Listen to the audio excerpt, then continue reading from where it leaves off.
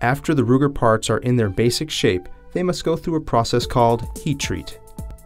Most parts go through heat treat twice, once softening parts for machining, which reduces tooling costs and ensures proper machining. Following machining, the parts are returned for hardening to design specifications. Uniform hardness is achieved by heating the part and allowing them to cool to eliminate hard or soft spots within the metal.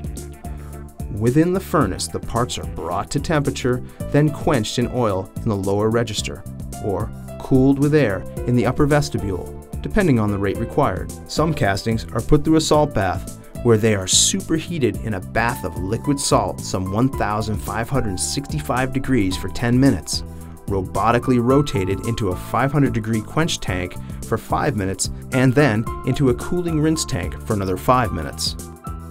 Now that the hardness cycle of heat treat is complete, a sample of castings is checked on the hardness verification machine.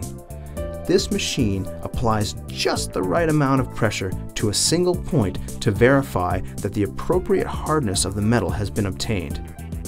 Stainless parts are hardened in the vacuum heat treat furnace a sealed chamber that cycles twice daily. The timing of this vacuum furnace is pivotal. If a heat is missed, it will have to wait 12 hours before the door opens again.